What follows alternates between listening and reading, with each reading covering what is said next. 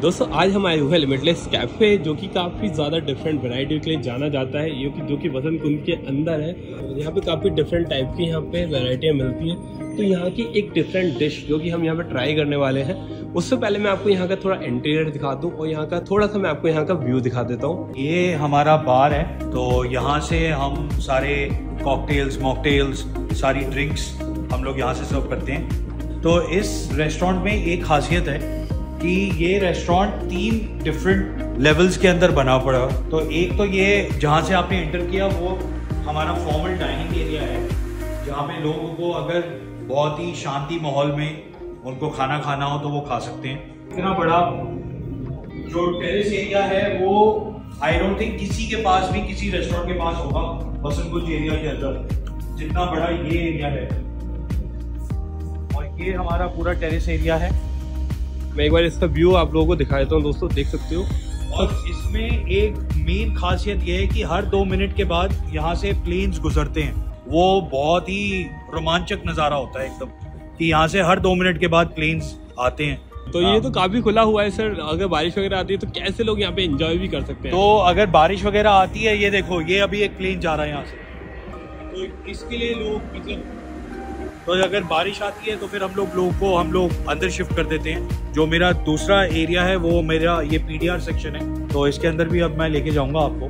This is called private private dining room okay तो ये हमारा तो है। ये हमारा पीडीआर बोलते हैं इसको प्राइवेट डाइनिंग रूम बोलते हैं। तो यहाँ पे भी एक बार है हमारा। तो यहाँ पे अगर किसी को एक छोटी गैदरिंग एक्सक्लूसिव पार्टी करनी हो तो वो एरिया है ये हमारा डीजे कंसोल है यहाँ पे। तो यहाँ से हमारे डीजे म्यूज़िक बजाते हैं। ये ये सारे ये सारे टेबल्स हैं ये मतलब यहाँ पे एटी छः छः से सात टेबल्स हैं हमारी। और ना ना करते हुए सौ लोग की गैदरिंग एक सौ दस लोग की गैदरिंग आ सकती है यहाँ पे। तो काफ़ी अच्छा है। मतलब हमारे यहाँ पे आप बर्थडे वगैरह भी सेलिब्रेट यहाँ पे हम आप बर्थडे वगैरह भी आप सेलिब्रेट कर सकते हो। एकदम एक्सक्लूसिव एरिया चाहिए सबसे हटके तो वो यहाँ पे आप अंदर पीडीआर के अंदर आप कर सकते हो। और ये हमारा जैसे मैंने अभी आपको बताया ये टेरिस एरिया है और ये लाइव म्यूज़िक का एरिया यहाँ पे सारे हमारे लाइव बैंड्स परफॉर्म करते हैं। तो एक पूरा स्टेज दिया हुआ है उनको। और अब इस एरिया के अंदर ये आ गया आपका एरोप्लेन फिर से। इस एरिया के अंदर जाएँगे तो ये दो वॉशरूम्स हैं यहाँ पे। एक लेडीज़ के लिए वॉशरूम है एक जेंट्स के लिए वॉशरूम है। ये काफ़ी सुंदर है काफ़ी ज़्यादा खूबसूरत बना हुआ है ये। सर आपके यहाँ डिफरेंट क्या मिलेगा खाने के लिए? खाने यहाँ पे बहुत कुछ डिफरेंट मिल सकता है। यहाँ पे हमारा फ्यूजन फ़ूड भी है।